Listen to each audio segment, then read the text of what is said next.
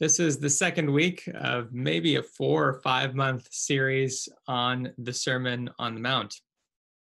Last week, I tried to kind of reiterate, I think, not, uh, I wasn't very happy with how I it reiterated it, but I tried to say that basically how one understands the Sermon on the Mount very much has to do with the context within which one tries to read the sermon and follow the sermon. And when you look at Matthew chapter 4, you see that Jesus places this sermon in a very particular context.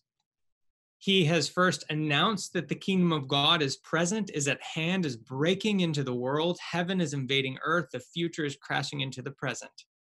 And then he goes up to a series of kind of ragtag people and says, I want you to be my disciples. Come follow me. So you get this the kingdom is breaking into the world, this call to discipleship. And then he embarks on this kind of Galilean ministry, this peripatetic ministry of preaching and teaching and healing, Matthew tells us. And it's only in the presence of this kingdom, this call to discipleship, and this healing ministry that Jesus then sits his disciples down and teaches them the Sermon on the Mount. Now, I think the significance of this context is that the Sermon on the Mount is meant to be read as a description of what human life and relationships and community look like when the kingdom of God breaks into the world. That's what the Sermon on the Mount is about. When it's taken outside of this context, then the Sermon on the Mount becomes, I think, either like frustrating idealism or oppressive moralism. But when in seen in the context of the kingdom of God breaking into the world, the Sermon on the Mount brings us good news of what redeemed human life looks like. And we also talked about last week how it's really interesting that Jesus starts the sermon with these eight Beatitudes. It's as if he says, redeemed human life begins with the heart, it begins with transformed character. And it's only that as we as people have our character and our hearts transformed, that we will actually have the humility and the ability by God's grace to then live out what Jesus talks about in the rest of the sermon. And so Jesus begins with the Beatitudes, and that is where we are at today. Last week, we looked at the Beatitude on poverty of spirit. And this week, we're going to look at the next three Beatitudes the Beatitude on mourning, Beatitude on meekness, and the Beatitude on hungering and thirsting for righteousness. So, so the first beatitude for the day is on mourning, verse four. Blessed are those who mourn, for they will be comforted. So, G- this is kind of a paradoxical sort of thing. Jesus is saying, when the kingdom of God breaks into your life or the life of your community, there's going to be mourning and there's going to be grief and there's going to be sorrow. It's one of the paradoxes of the gospel. Somehow, good news brings great sadness. And I think the key is understanding that this sadness has to do with us realizing just how far we and the world in which we live have fallen from the good, flourishing design that God had for us. Blessed are those who mourn. Now, the word that Jesus uses here is like the, the strongest possible Greek word for sorrow and grief it speaks not just of kind of a melancholy, you're having a blue day, it's a bit cloudy outside sort of thing. This sorrow speaks of the piercing pain that leads to uncontrollable tears. So, in the ancient world, this word was often used to describe that a, the pain that a parent would feel when their child died unexpectedly. It's the kind of grief which takes such a hold that it cannot possibly be hidden. So I think one of the images that comes to mind is Jesus like weeping uncontrollably at the tomb of Lazarus, just overcome with grief. So, one of the things that this tells us right away at the beginning of the Sermon on the Mount is that the Christian life, according to Jesus, the, the kingdom living according to Jesus, is not all joy and laughter. There is an appropriate sorrow um, there's an appropriate sense of Christian tears that should be said, should be shed. Now, I think key to understanding this is that I don't think Jesus is just talking about a general human experience of sorrow. And the reason for that is that the context here is that this is a sorrow that is birthed by the kingdom of God breaking in.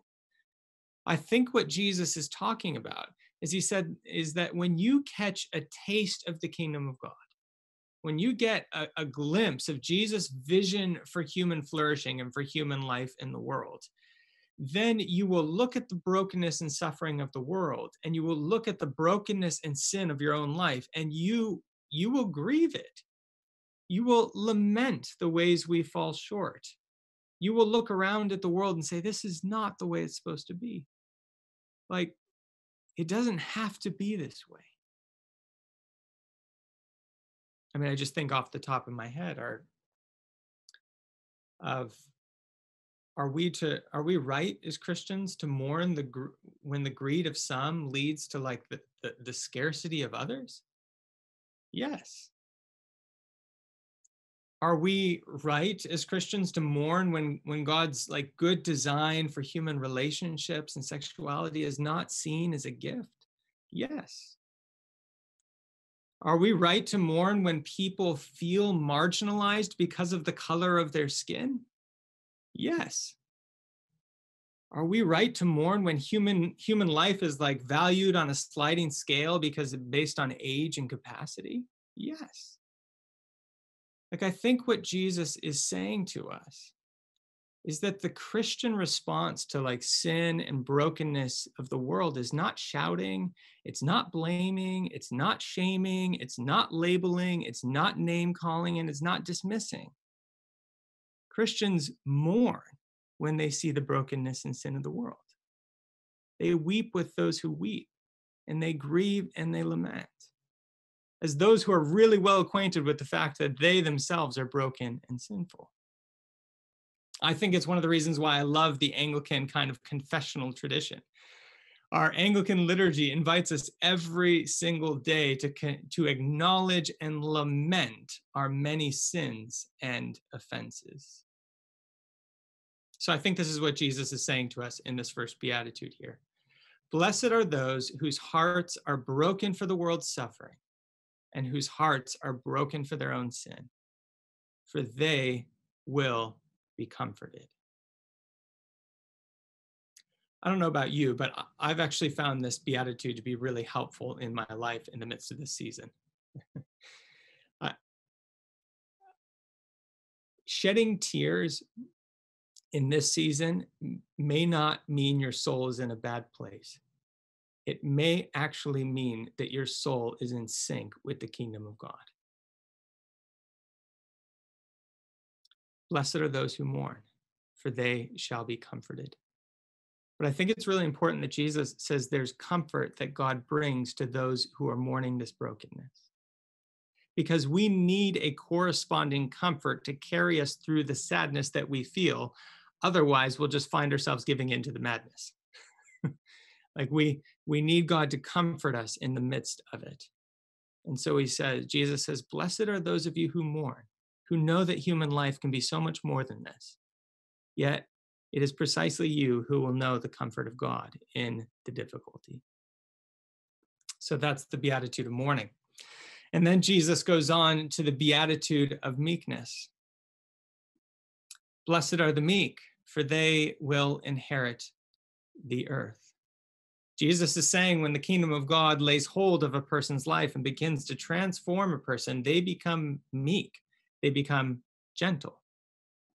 Now, I think gentleness could potentially be described as, as that quality of human character which is found at the intersection of conviction and empathy that quality of human character which is found at the intersection of conviction and empathy. Gentleness does not mean no conviction, no cause, no courage, no brain, no bronze, no backbone. Gentleness is not spinelessness.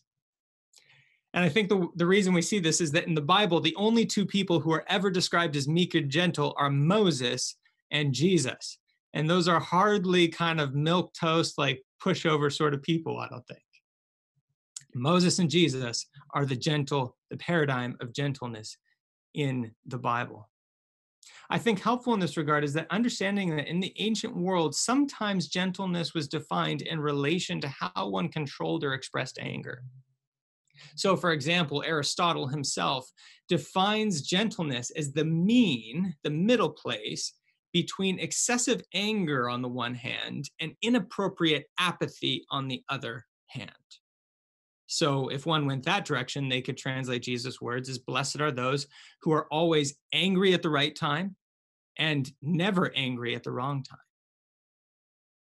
It's this sense that gentleness knows that shouting louder and flexing harder is not the way of the kingdom of God. But gentleness also knows that remaining silent and settling for the status quo is also not the way of the kingdom of God. The kingdom of God simultaneously uproots all apathy and tears down all pride. It's the intersection of conviction and empathy. The intersection of conviction and empathy. while this character or virtue was often desired in the ancient world, in some respects, it in some parts of the ancient world, it, it wasn't always seen as a good thing. Because gentleness and meekness is, is not always a desirable quality in cultures where, where might is seen as right. And, and Jesus knew this. I think he understood this context. He lived in an age when Roman rule wielded its power in the name of law and order to make sure that no one disrupted the status quo. And he also lived in an age when revolutionary uprisings often sought to overthrow Roman, Roman authority and rule in order to kind of forge a new and better future. Jesus himself actually lived in the land of Galilee, where lots of these Jewish kind of revolts and, and uprisings happened. For the Roman authorities, the evil of the world was anarchy. And for the Jewish revolutionaries, the evil of the world was oppression.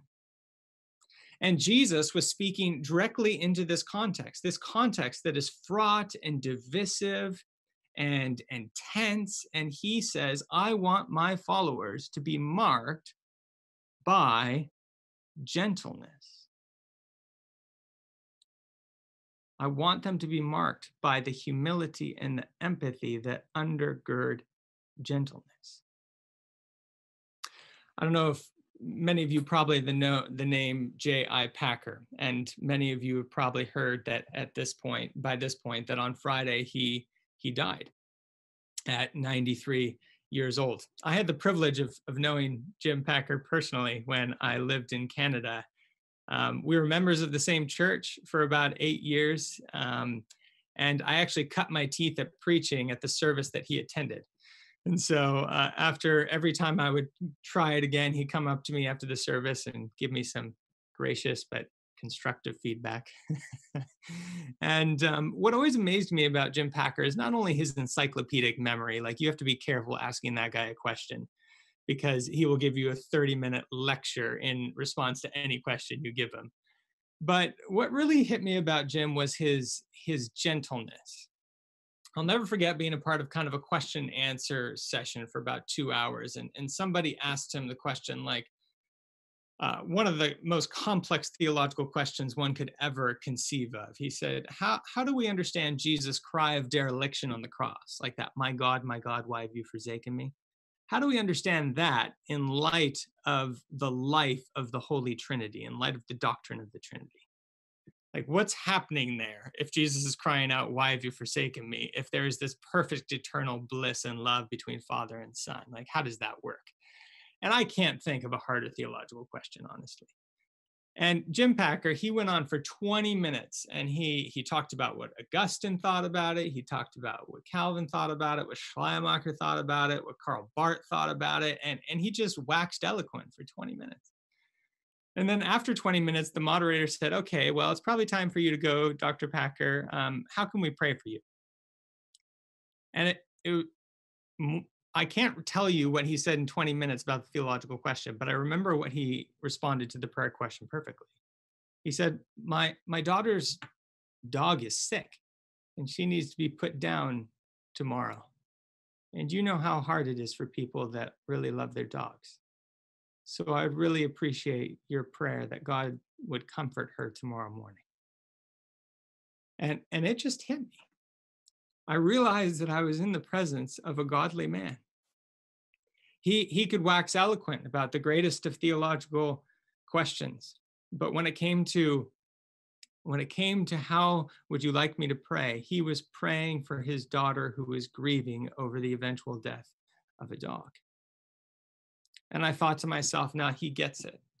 That is the empathy, that is the humility of a man who understands that gentleness and meekness is at the core of the kingdom of God. And I wonder, brothers and sisters, what it would look like for us in this season to exhibit that sort of gentleness, to exhibit that sort of meekness. Because Jesus says, Blessed are the meek, for they will inherit the earth. And it's really interesting that language, inherit the earth, comes directly from Psalm 37. And Psalm 37 is one of those Psalms where David is looking at the world and he's asking the question why does it seem like the prideful and the powerful and the grabbers and the getters are the ones who always win? And in Psalm 37, God says to David, he gives David words and he says, Do not worry about the rich and the powerful and the evildoers. He says, because it's the meek and the gentle and the humble that are going to inherit the earth someday. And one of the astonishing things to me is that when you get to Revelation 22, it describes this picture of the new creation, of us seeing the face of God. And then it gets this, this language that we often overlook of the church. And it says, and we will reign with him forever. In Revelation, it is picturing the gift that is given to those who are meek now in the midst of evildoers the gift that is given to them is they get to inherit the whole world with the king, and they get to reign with Christ in the new creation. Blessed are the meek, says Jesus. Blessed are those who do not power grab now, for they will inherit the earth so Jesus says, when the kingdom of God breaks into my people's lives, it shows up as mourning over the brokenness of their lives in the world, and it shows up as meekness. And finally, he says it shows up as hungering and thirsting for righteousness. We see this in verse six. Blessed are those who hunger and thirst for righteousness, for they will be satisfied. Now, many scholars argue that this language of righteousness is the central theme of the whole Sermon on the Mount. Like Jesus says just a few verses later, unless your righteousness exceeds that of the scribes and Pharisees, you will never enter the kingdom of heaven. Now, that's a scary thing to say. Um, we'll talk about that later in a few weeks. But it just goes to show that for Jesus, righteousness eh, could possibly be the word that describes kingdom living in all of its wholeness most poignantly. Righteousness. Divine righteousness is a central theme throughout the Bible as well righteousness for God speaks of the inner integrity of his being that is expressed in faithfulness to his creation and his covenant people. And human righteousness mirrors this divine righteousness. It is like this inner moral integrity that expresses itself in relational fidelity and right relatedness in every sector and sphere of life. So, a lot of kind of theologians of old say in order to understand this righteousness, you actually have to go all the way back to Genesis chapter one and two, and you have to see what sorts of relationships did God create humanity for? Because relation, righteousness is right relatedness in every one of those relationships. So, if you go back to Genesis one and two, you see we're created for relationship with God, we're created for relationship with others, we're created with relationship to creation and we're created for relationship to self. And when Jesus talks about righteousness, he is talking about this holistic, expansive vision for human life, that all of its relationships are flourishing. I think the kind of British scholar, since I talked about J.I. Packer and he is one of these British evangelicals, I might as well talk about John Stott, who is another one of these British evangelicals and and he describes biblical righteousness really well he says biblical righteousness is more it's not less but it's more than private and personal affairs. It includes social righteousness as well. And, and he goes on to describe what social righteousness is. Stott says, We learn from the law and the prophets that righteousness is also concerned with seeking human liberation from oppression, together with promotion of civil rights, justice in law courts, integrity in business dealings, honor in the home, and care and concern for family affairs. And he summarizes it this way Christians are committed, says Jesus, to hungering for righteousness in the whole human community as something that is pleasing to a righteous God. In the whole community, every facet of human life. That's why I like the quote that Tim Keller once said to be kind of provocative. He said, If we're really following Jesus in the kingdom way that's laid out in the Sermon on the Mount, then we'll need to be more conservative than the conservatives and we'll need to be more liberal than the liberals because righteousness is not something that can be contained into a particular set of agendas that that we choose some relationships to focus on in the world and not others. Righteousness for jesus is one of these holistic biblical terms that encompasses every aspect of our lives. And he says blessed are those who hunger and thirst for righteousness as if they cannot live without it for it's them and them alone that will be satisfied. One of the questions that I think is presented to us by Jesus in this season is Are we willing to have our hunger and thirst for righteousness expanded to encompass everything that Jesus' heart cares about? Are we willing to have our hunger and thirst for righteousness expanded to encompass everything that Jesus' heart cares about. When Jesus was beginning his public ministry, he went to John the Baptist in the Jordan River to be baptized. And, and John said, Why should I baptize you? You should be baptizing me. It should be the other way around. And, and Jesus responds to him in the waters and he says, I must be baptized.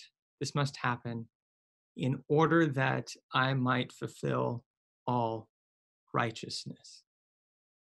Right at the beginning of Jesus' ministry, as he is baptized for, for public proclamation of the kingdom of God, he says, What am I on about in the world? I'm on about fulfilling all righteousness, bringing right relationship to every sphere and every sector of human life. And that's precisely what Jesus invites his people into today. He invites his people to seek this righteousness. Blessed are the poor in spirit, says Jesus, for theirs is the kingdom of heaven. Blessed are those who mourn, for, for they shall be comforted. Blessed are the meek, for they shall inherit the earth. And blessed are those who hunger and thirst for righteousness, for theirs is the kingdom of heaven. Brothers and sisters, may it be so with us this week. In the name of the Father, and of the Son, and of the Holy Spirit. Amen.